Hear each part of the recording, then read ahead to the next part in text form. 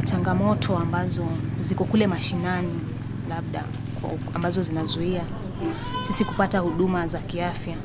Sasa inakupatia ile motisha ya kusafiri kutoka huko mbali kuja mpaka katika Kajiado Referral kwa sababu unajua kwamba lazima madaktari wapo, dawa zipo.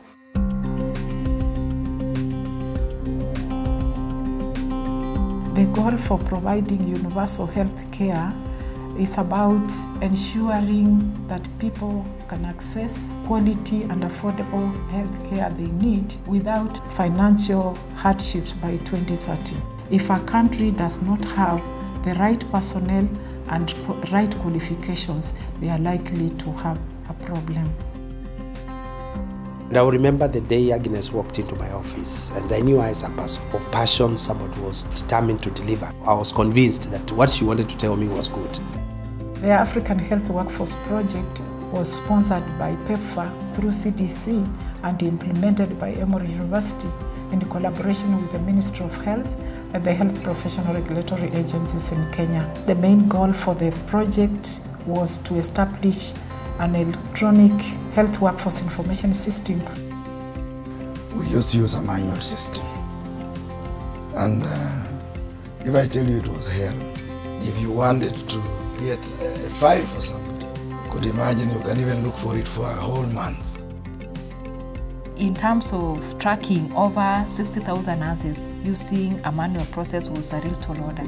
At the click of the button, it was very hard for us to do that. When the system was deployed, we found that within a second, by a touch of a button, you can have information about somebody. We jumped from months, years to seconds. So there are a number of key steps that uh, went to development of the system. We did business process analysis to uh, ensure that the processes are streamlined. We kept on adding features with needs as they come in until uh, this point where the system is quite robust and uh, has been used. We have had a number of uh, innovations. The first one is uh, the online services portal, a one-stop shop whereby a doctor has an account, able to pay for your retention, able to pay for your private practice license, uh, to, to apply for certificate of status, among other services.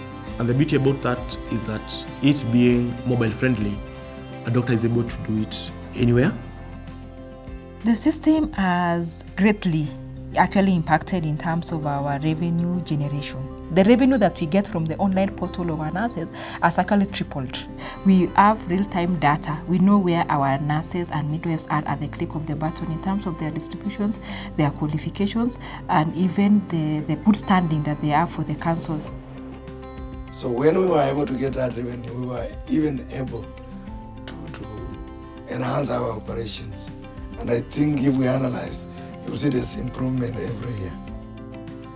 Previously, there was a challenge in tracking of healthcare workers.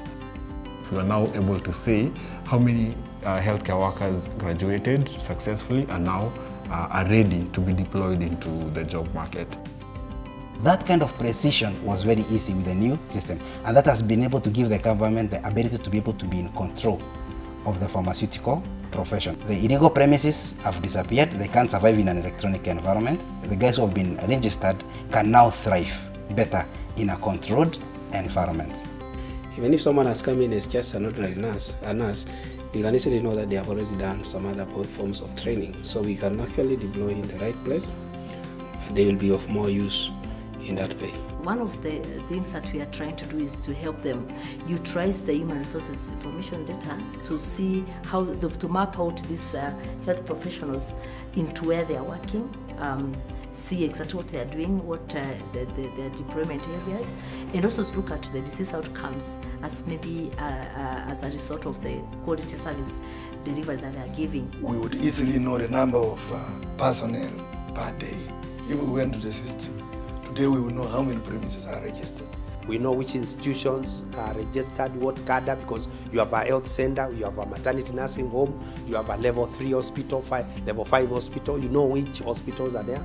Then you also know which kind of staff you have in certain hospitals. And then you also know what services are being offered in which type of an hospital. So it is a dynamic system, and so it helps us make decisions very fast. It's a, it's a powerful tool. It's, it's, it's like a powerhouse. We've just begun in the country, but there's still a lot that needs to be done for it to be able to really be used like an empowerment system to make sure that the regulatory uh, system in this country are, are more efficient, uh, they're more reliable, and they're more acceptable to Kenyans and the public.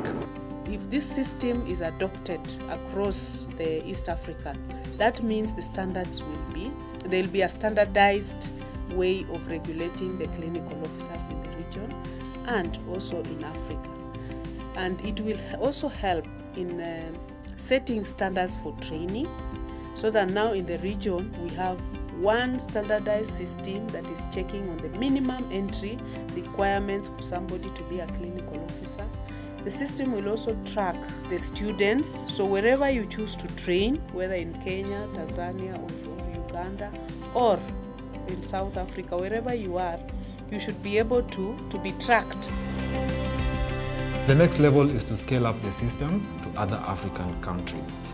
A case study is Zambia, who shared the same challenges like Kenya. So the project was able to transfer the best practices and provide technical assistance to the Zambians. It was quite easy for Zambia to have the system uh, customized and finalized within two years, which was half the time that Kenya had taken. When I look back at where Kenya was in terms of um, system, I, I really wish that these uh, other countries would have an opportunity to have a system that makes it easy for them to work.